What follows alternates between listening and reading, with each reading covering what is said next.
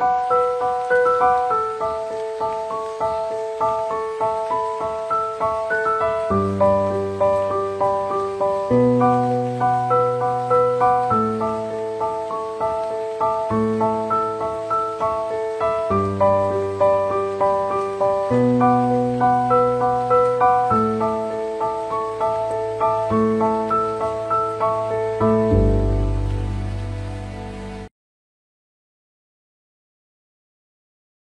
xào gừng.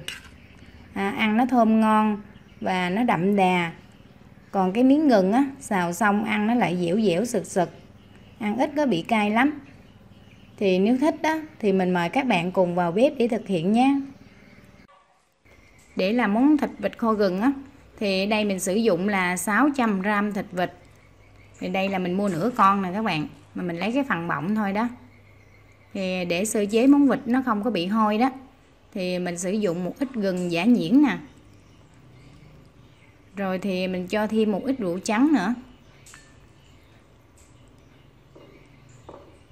Cho thêm xíu muối nữa nha.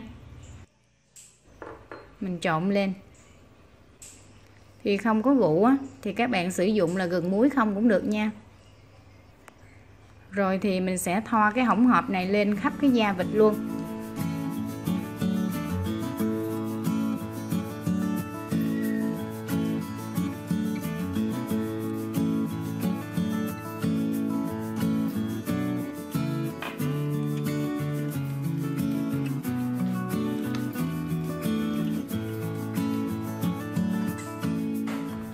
Mình sơ chế vịt nó như vậy nè các bạn. Thì khi mình chế biến món ăn á, nó sẽ thơm ngon hơn và nó không có bị hôi nữa. Thì bây giờ mình sẽ đem đi rửa sạch và mình chặt nó ra nha. Đây là phần thịt vịt nè.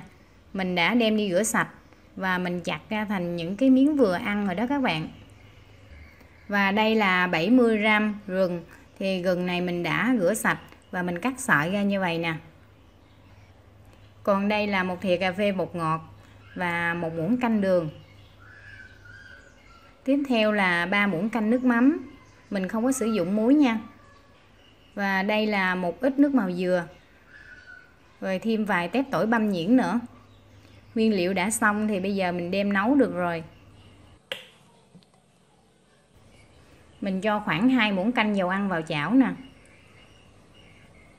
Rồi mình đun dầu cho nó nóng lên đến khi dầu nó nóng lên nè, thì mình sẽ cho cái tỏi băm vào nha.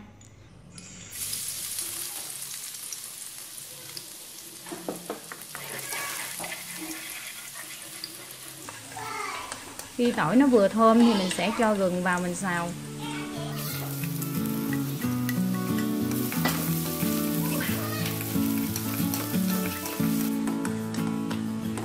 Mình xào đến khi nào cái à, gừng của mình á, nó nhìn nó trong lên nè và nó dẻo á thì mình sẽ cho thịt vào. Cho thịt vào á thì các bạn xào tiếp tục để cho cái thịt nó săn lại luôn.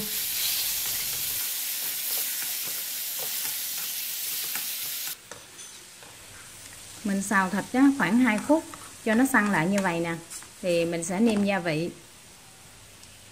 Mình cho nước mắm vào nha đây mình sử dụng khoảng 3 muỗng ăn cơm á các bạn hay còn gọi là muỗng canh đó.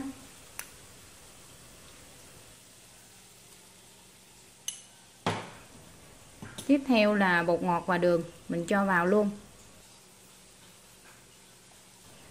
Rồi mình cho một ít nước màu dừa vào nữa để cho thịt xào gừng của mình đó, nó có cái màu đẹp và nó thơm hơn á.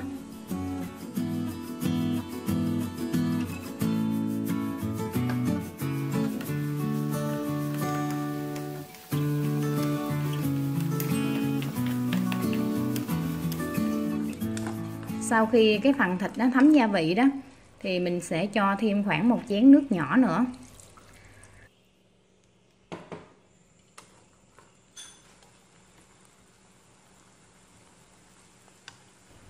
Giờ thì mình sẽ đậy nắp lại và mình nấu tiếp. Mình nấu với lửa riêu riêu á, cho vịt của mình nó chín luôn nha.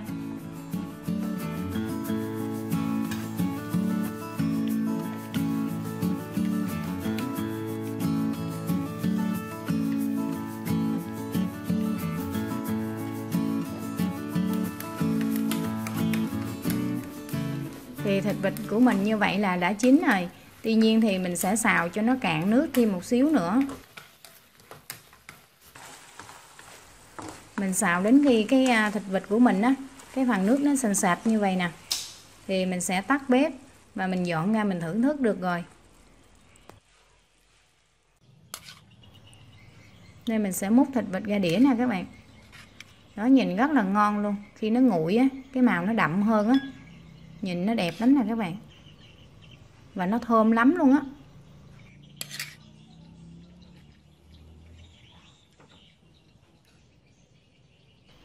Mình à, xúc ra đĩa xong rồi nè, thì mình sẽ ăn cùng với cơm trắng.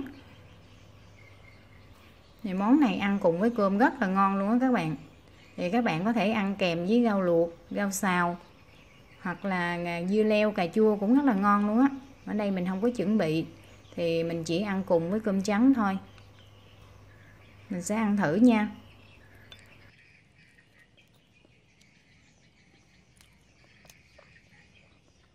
Ngon lắm các bạn ơi. Thịt vịt thì ăn vừa thơm ngon và có cái vị rất là đậm đà luôn á.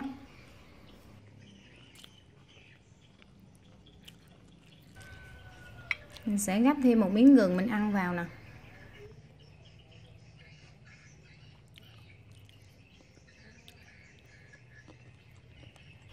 Miếng gừng á thì dẻo dẻo, sực sực. Ăn ít cay mà nó rất là ngon luôn á. Thì nếu các bạn thích ăn cay nhiều á, thì các bạn có thể bỏ thêm ít ớt.